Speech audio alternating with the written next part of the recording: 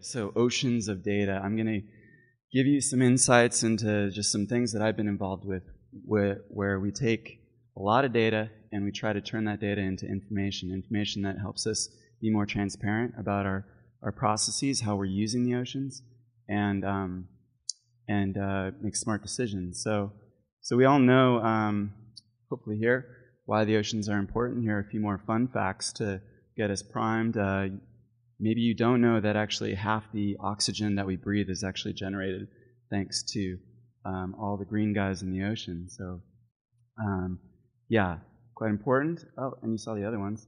And, um, and so we have these competing uses, whether it's uh, ship strikes like we had blue whales off the Channel Islands, or Deepwater Horizon, um, or fish, uh, entanglement from fishing gear, or low frequency sonar, and ship shock trials, or even environmentally friendly applications like wind farms. Um, we have spatial conflict. And so this is the end product of uh, some of the work that I was doing with Duke, with many other folks, but here we are looking at a prediction of where, where whales are. And we see the track lines where the survey effort was and the point observations of where those animals are seen in a predictive map.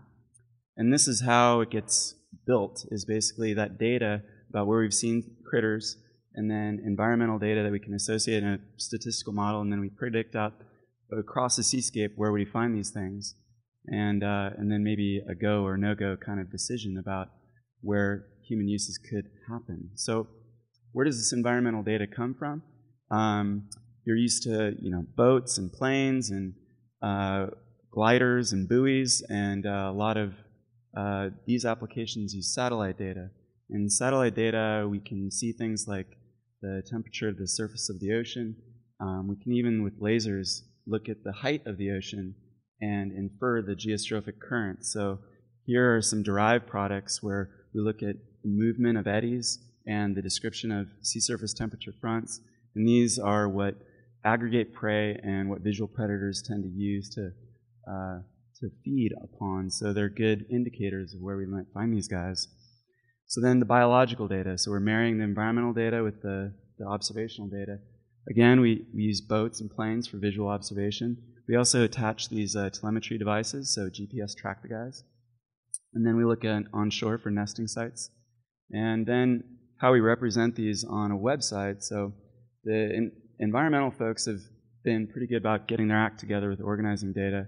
And on the biological side, it took a, a lot of more recent effort, and you see all these different data types represented here. Now on a website, OBIS SEAMAP, so that's where I got my start at Duke back in 2002. And now we've got uh, a bunch of records now online and available, three and a half million records with all these data sets going way back. So we can start to now use this archive of data to go back and build that predictive map so we can manage these uses properly. And it and um, so there's a sort of a, a, marrying between the predicting side and then the archiving side, and there's some technical glue that uh, allows this to happen related to uh, geospatial web services.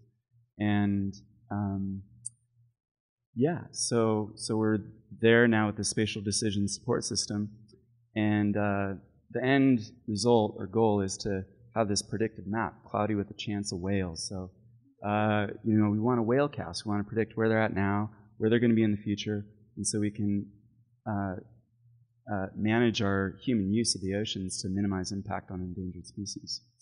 So that's one project. And now I'm going to just give you a little background on the this other project that I'm working on now with is so what is a healthy ocean? Bigger picture.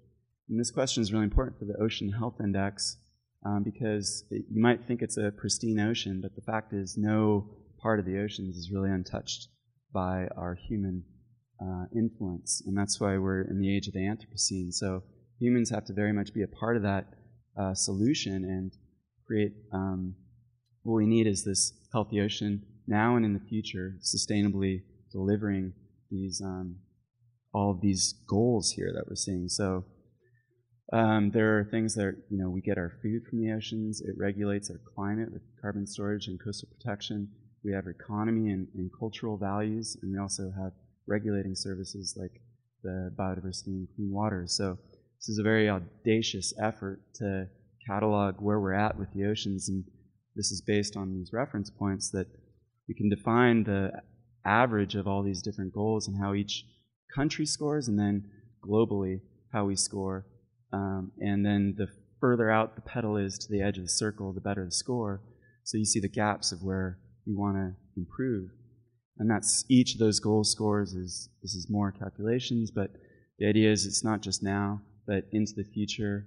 And we have uh, mappable human pressures that inflect the future downward, but we also have notions of governance and that bring it back up with resilience.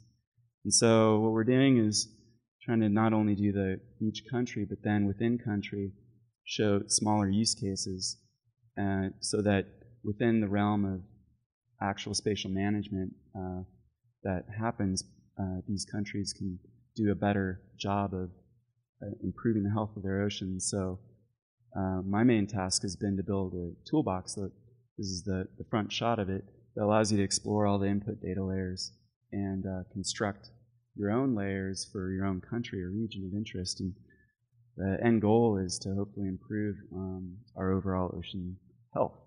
So this was a, a quote from a Senegalese conservationist addressing the UN that great. In the end, we conserve what we love. We love what we understand, and we understand only what we've been taught. So uh, creating that transparency and uh, uh, is, is the goal. Thank you very much.